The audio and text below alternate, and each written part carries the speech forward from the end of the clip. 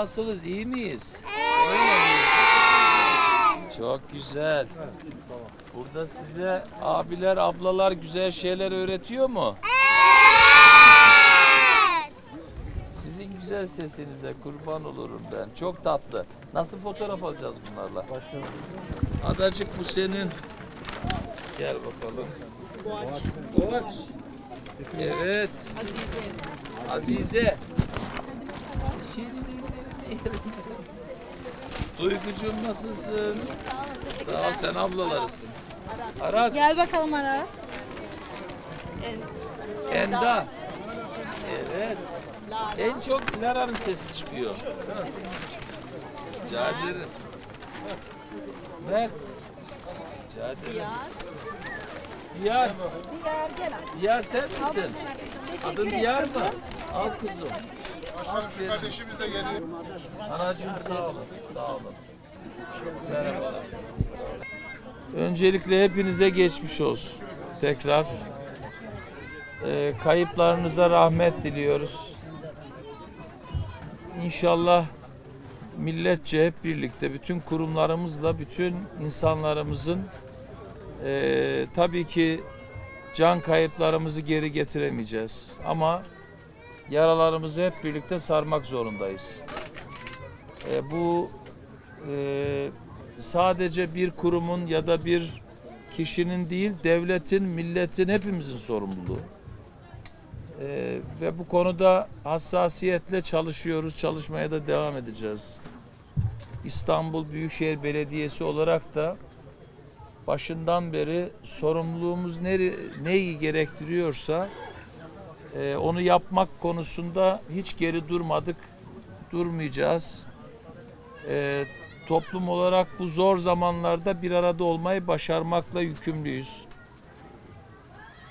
Tabii ki gerçekten hani gerçekten büyük bir yıkım. Ama e, geri gelmeyecek olan tek can diyerek diğer her şeyi tekrar bu şehre kazandıracağız. Hiç endişeniz olmasın. Ben de şahsen buraya dönük e, sorumluluk aldığımız ilk andan beri hiçbir e, konuda e, gücümüz neye yetiyorsa geri durmadık. Hala devam ediyoruz. Arkadaşlarımızla beraber burada muhtelif ihtiyaçları karşılama konusunda büyük gayret içerisindeyiz. Özellikle Hatay Büyükşehir Belediyesi ile birçok konuda işbirliği yapıyoruz. Onun dışında kendi kurumsal hizmetlerimiz var. Ee, bu bazen çocukların eğitiminden e, başka altyapı konularından yeniden şehirleşmesine sunacağımız teknik katkılara kadar her konuda e, çalışmalarımız sürüyor. E, bu bölgede yine bir geçici yerleşim alanı inşaatımız var. Onu bitirmek üzereyiz. Ee, Temmuz ayı sonunda yine geleceğim. Onun e, sahiplerine teslim edeceğiz. O geldiğimiz anda yine Hatay Büyükşehir Belediyesi ile ve diğer belediyelerimizle birlikte bundan sonra neler yapmalıyız, nasıl yapmalıyızı konuşacağız ve onu da halkımızla paylaşacağız. Ee, tekrar hepinize geçmiş olsun. İnşallah bir daha böyle acıları yaşamayalım milletçe. Afetlere e, en üst seviyede hazırlıklı olmak zorundayız. İnşallah o hazırlığı başaran, beceren, aklı önde tutan bir süreci hep birlikte milletimize yaşatırız. Hatalardan ders çıkartmamız lazım. Ee, tekrar hepinize geçmiş olsun. Hepinizin başı sağ olsun. Biz onu başkanımıza yollayacağız, size bırakacak. Buradayız. Tamam.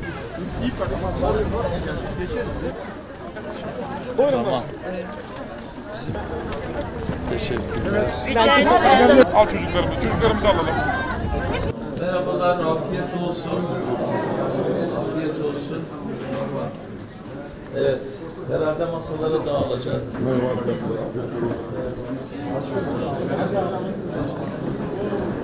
Thank you.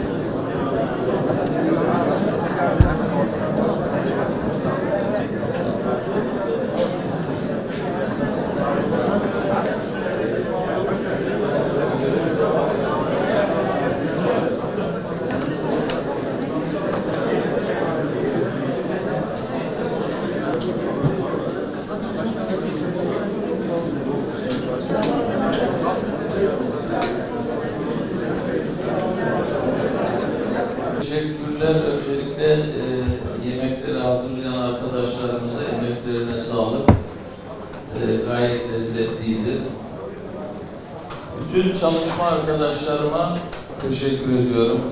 Hepinize afiyet olsun.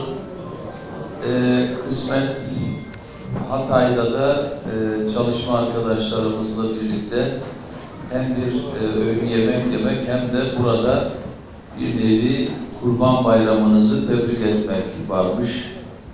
Keşke bu vesileyle olmasaydı ama hayatın bir gerçeği. E, ne yazık ki Hatay ilimizle birlikte 11 şehrimizde milletçe büyük bir acı yaşadık. İnsanlarımızı kaybettik. Hepsinin ruhlarına rahmet diliyorum. Allah rahmet eylesin. Mekanları cennet olsun. Ee, inşallah e, memleket e, memleketimiz hiçbir zaman böyle afetlerle e, bu acıları yaşamasın. Ama e, tabii ki afet var ve bir gerçek. Bunun adı deprem olsun, bunun adı başka bir şey olsun var. Var olan afetlere tedbir almakta bizlerin görevi. Ne yazık ki bu konuda milletçe iyi bir sınav veremiyoruz kıymetli dostlarım. Ee, veremiyoruz ve veremedik. Bu bunun içinde herkesin bir sorumluluğu var.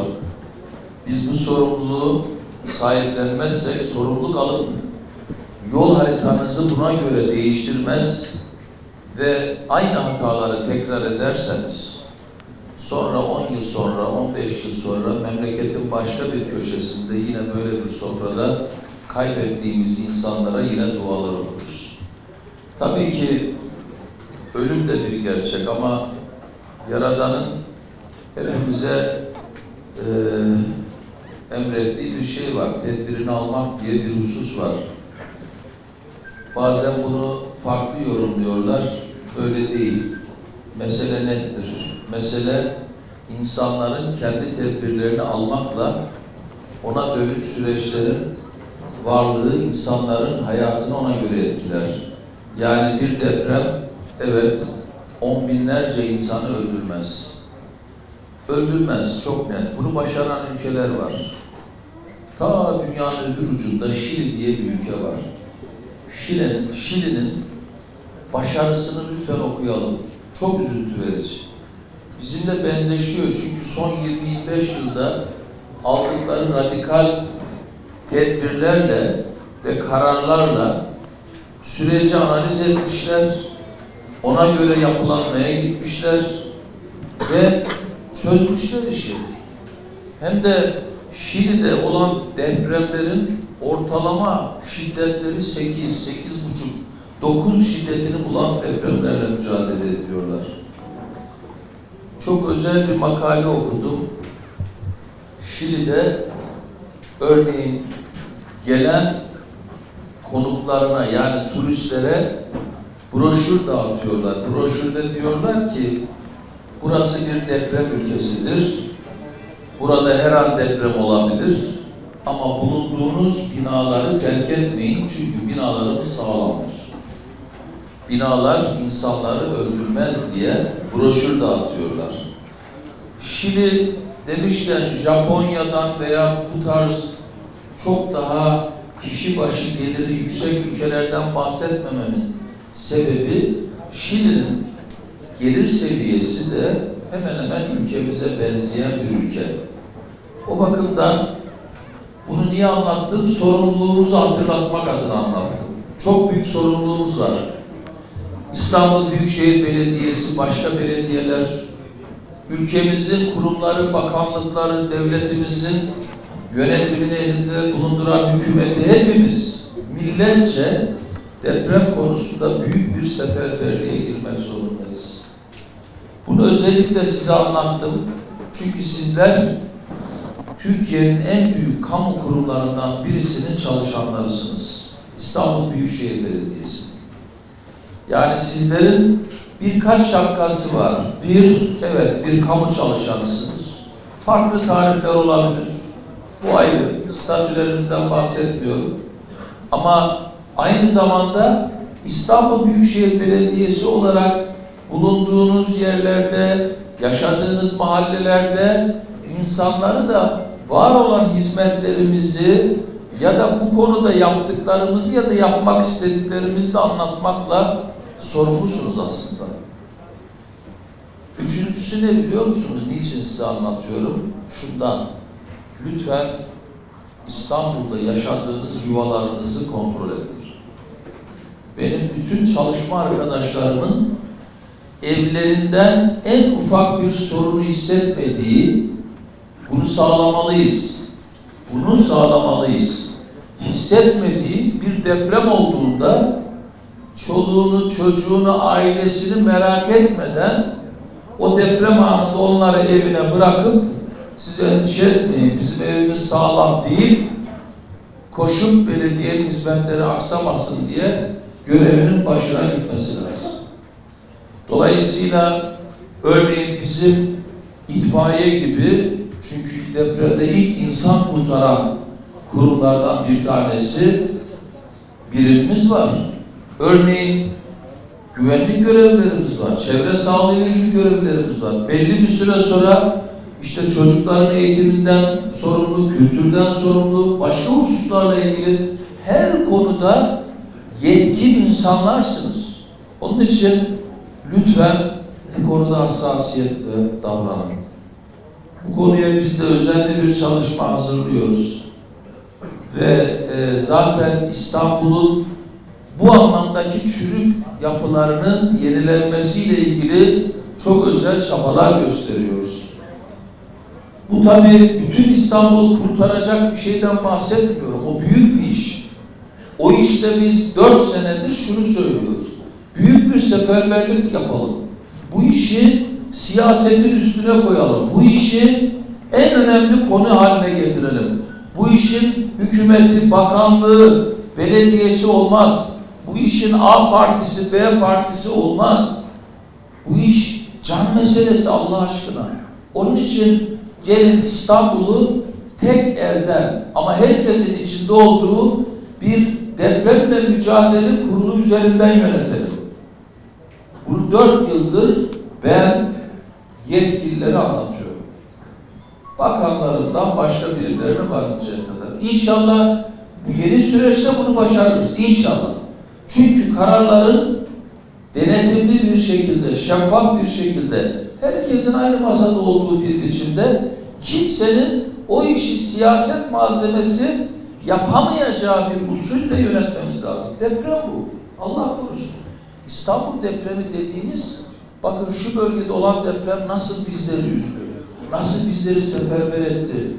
Biz çok canımızı bitirdi. İstanbul depremi dediğimiz şey Allah korusun bu memleket için bir güvenlik sorunu. Güvenlik sorunu. Büyük bir ekonomik çöküntü. Büyük tarifi yok. Onun için yani kaybedecek tek bir anımız bile olmamalı. Onun için sizinle paylaştım. Yuvanızı kontrol ettir. Buna dikkat. Bu kurumun tek başına üstünden geleceği bir mesele değil. Hepiniz bununla ilgili sorumlu davranabilir, bir şeyler yapabilirsiniz. Sevgili çalışma arkadaşlarım, iyi ki varsınız. Burada çok manevi bir görev yerine getirdiniz. Bakın burada neredeyse 10 bine yakın arkadaşımız değişimli görev aldı. Dönem dönem e, neredeyse 1600-1700 kişi aynı anda burada çalıştı. Dolayısıyla e, 3000'e yakın. Pardon, 3, 4 yani 3000'i 4000 toplamda kaç sayı vermiştiniz bana? Ben 10.000'e yakın diye hatırlıyorum. Yani değişimli olarak. Dolayısıyla aynı anda büyük bir kadroyla buraya emek verdik.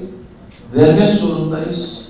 Ama sizin o gönülden bu işi yapan yüreğiniz olmasa biz boş konuşuruz. Her şey bazen talimatlı olmuyor. O bizim insanımızın hem sorumluluk alma hem bir başka vatandaşının yanına koşma, bir olma duygusu çok kıymetliydi.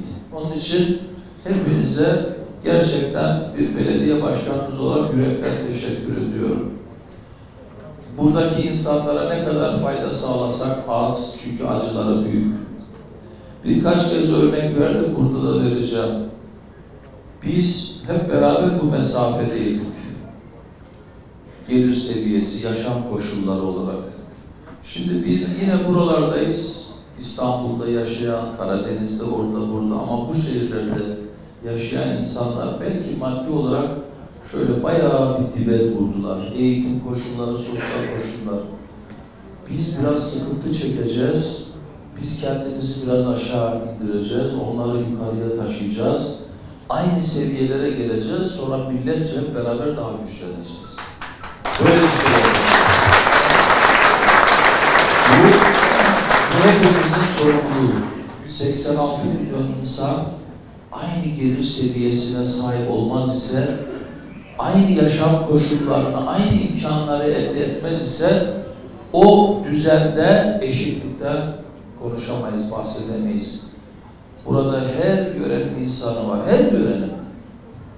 Bu ülkede Urfa'da yaşayan insanımızla, Artvin'de yaşayan insanımızla veya Çorum'da yaşayan insanımızla İstanbul'da yaşayan insanımızın eğitim, yaşam, özellikle eğitim, özellikle sağlık bu tip hususlarda çok değerli bir hizmet eşitliğini sağlamak zorundayız. O bakımdan burada yaptığınız o hizmetler işte o eşitlenmenin ilk adımları.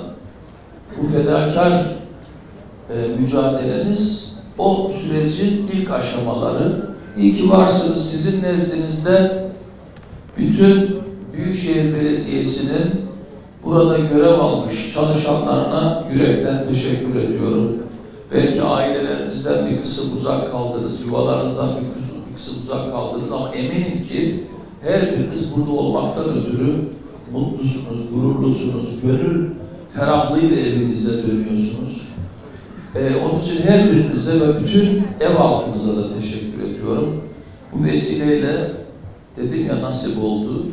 Burada bulunan ve bulunmayan 90 bine yakın İstanbul Büyükşehir Belediye'mizin güzel çalışanları, yol arkadaşlarımızın her birinin e, ailelerine, e, yuvalarına güzellikler, bereket ve sağlıklar getirecek olan getirmesini dilediğim Kurban Bayramınızı da tebrik ediyorum. Kurban Bayramınız mübarek olsun. E, ailelerimize selamlarımı, sevgilerimi, saygılarımı iletiyorum. İnşallah çok güzel hizmetlerle yolumuza hep birlikte devam ederiz. Tekrar hepinize teşekkür ediyorum. Afiyet olsun. Dışarı, dışarıda, dışarıda fotoğraf çekiyoruz. Arkadaşlar dışarı doğru alalım.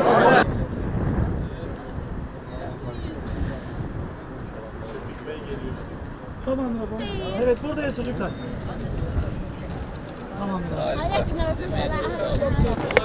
farklı